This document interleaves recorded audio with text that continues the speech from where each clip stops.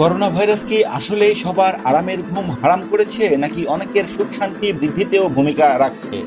হঠাৎ খেয়াল করলাম ভাইরাসটি প্রাণঘাতী হলেও অনেকের জন্য আশীর্বাদ হিসেবে দেখা দিয়েছে।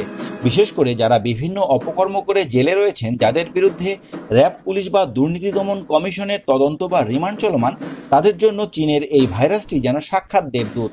মিস টাইমলাইনের আজকের ভিডিওতে তুলে ধরা হবে আলোচিত শামিমানুর পাপিয়া, যাকে নেটিজানরা পাপি পাপিয়া হিসেবে চিনেন।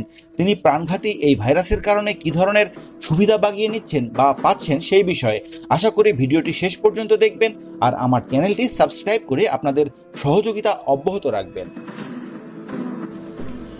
এবছরের বাইশ ফেব্রুয়ারি বিদেশে পালানোর সময় নিজের স্বামী ও এক সহযোগী সহ গ্রেফতার হওয়ার পর থেকে জেলেই রয়েছেন পাপিয়া। তাদের বিরুদ্ধে হওয়া চারটি মামলার মধ্যে শুধু অস্ত্র আইনে হওয়া মামলার অভিযোগপত্র দিয়েছে র্যাব। বর্তমান পরিস্থিতির কারণে অন্য মামলাগুলোর তদন্ত কাজ এগিয়ে নেওয়া যাচ্ছে না। এবছর এগারো মার্চে আদালত আসামিদের পনেরো দিনের রিমান্ড মঞ্জুর করেছিল। কয়েকদিন আগে রিমান্ডের জন্য আসামিদের আনতে কারাগারে গেলে পাপিয়া জ্বর, সর্দি, কাশির কথা বললে তাদের রিমান্ডে আনতে পারেননি র্যাব। কি একটা অবস্থা। এদিকে সিআইডি পাপিয়ার কাছে পাঁচ কোটিরও বেশি টাকা অবৈধ আয়ের তথ্য পেলে এগারো মার্চ মোট ছয় জনের বিরুদ্ধে মানি লন্ডারিং আইনে মামলা করা হলেও বর্তমান করোনা পরিস্থিতিতে তদন্ত কাজ এগিয়ে নেওয়া সম্ভব হচ্ছে না। মামলায় পাঁচ তারকা হোটেলে পাপিয়ার পরিশোধ করা তিন কোটি তেইশ লাখ টাকার বিল, তার বিশ লাখ টাকার বিনিয়োগ, ইন্দিরা রোডের ফ্ল্যাট নগদ আটান্ন লাখ টাকার কথা উল্লেখ করা হয়েছে। সিআইডি কর্মকর্তারা বলেছেন, আসামিদের রিমান্ডে আনা সম্ভব হচ্ছে না। তবে সিআইডি, বাংলাদেশ ব্যাংকের ফিনান্সিয়াল ইন্টেলিজেন্স ইউনিট সহ বিভিন্ন আর্থিক প্রতিষ্ঠানে পাপিয়াদের আর্থিক লেনদেনের বিষয়ে তথ্য চেয়েছে।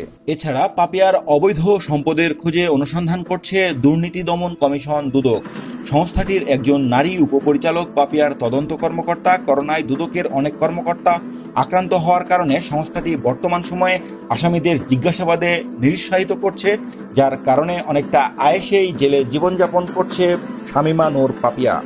কি বুঝলেন বন্ধুরা, কথায় যে বলে কারও পৌষ মাস আর কারও সর্বনাশ, বাক্যটি কেমন যেন সত্য প্রমাণিত হলো পাপিয়ার ক্ষেত্রে, তাই না? ভিডিওটি কেমন লাগল অবশ্যই কমেন্ট করে জানান। আর পাপিয়ার অবৈধ জীবনযাপন ও গ্রেফতারের উপর আমার আরও দুটি ভিডিও রয়েছে, যার লিঙ্ক ডিসক্রিপশানে দেওয়া রইল। চাইলে দেখে আসতে পারেন। আবারও চ্যানেলটি সাবস্ক্রাইব করার অনুরোধ করে শেষ করছি আজকের ভিডিও।